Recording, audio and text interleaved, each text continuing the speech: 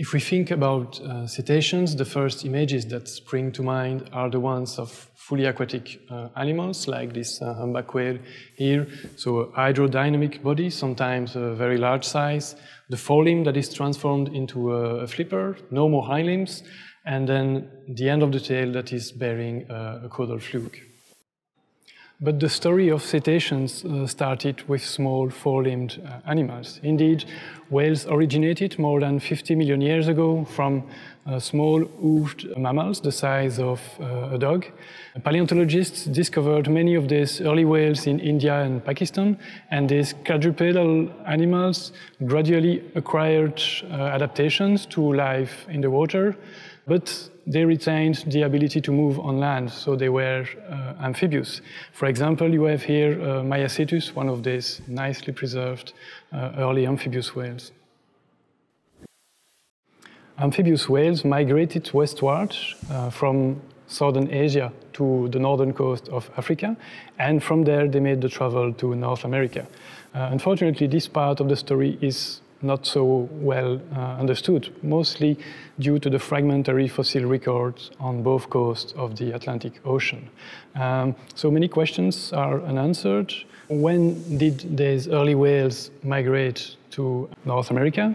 Which path did they take uh, for that? What were the body adaptations that allowed them to make it to the other side? This is something that is still a mystery, but a new discovery that we recently made may provide some clues. This all started in 2011 when, during a field expedition in the Pisco Basin on the southern coast of Peru, we discovered the skeleton of a new whale. During the excavation, we quickly realized that this was a quadrupedal whale and it was dated from nearly 43 million years. With such geological age, we have an animal that is the oldest for the New World, and this is also the most complete quadrupedal whale skeleton outside India and Pakistan. So this is a key discovery to investigate uh, a crucial stage in the early whale evolution and dispersal. Let's have a closer look at Peregocetus pacificus. This animal was still capable of bearing its own weight uh, on land. How do we know that? First, the sacral vertebrae were still uh, fused together. The pelvis was tightly attached to the, to the sacrum. Then the, the forelimb and the hind limb were roughly similar to the ones of uh, Maiacetus. And finally, tips of uh, the fingers and toes were bearing small hooves. So it could still walk the rocky coasts of nowadays Peru. But Peregocetus was also a good swimmer.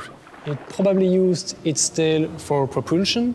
Unfortunately, we didn't find the last tail vertebrae, so we cannot tell if uh, there was a caudal fluke in Peregocetus, but the anatomy of the first tail vertebrae is reminiscent of those of semi-aquatic mammals like beavers and otters. So Peregocetus uh, also had long toes on large feet, and those were most likely webbed. So undulations of its tail and strokes of its hind limb, in a way somewhat similar to otters, uh, most likely helped Peregocetus to cross the South Atlantic during the Middle Eocene. Um, at that time, the distance between Africa and South America was two times shorter than uh, nowadays, and a sea surface current was running from Africa to South America. These two features most likely helped Peregocetus ancestors to cross the South Atlantic. And then from South America, later whales migrated to the north and reached uh, North America. Some of the descendants of these quadrupedal whales, the basilosaurids, uh, including Dorudon and Basilosaurus, will later dramatically reduce their hind limbs. They will mostly rely on uh, the caudal fluke for uh, propulsion in uh, the water. And these are so the, the first fully aquatic uh, cetaceans. They will give rise to the two modern lineages of cetaceans, uh, the baleen whales and their relatives, the Mysticeti, and on the other side, the, the echolocating tooth whales, uh, the dolphins, porpoises, sperm whales, and beaked whales.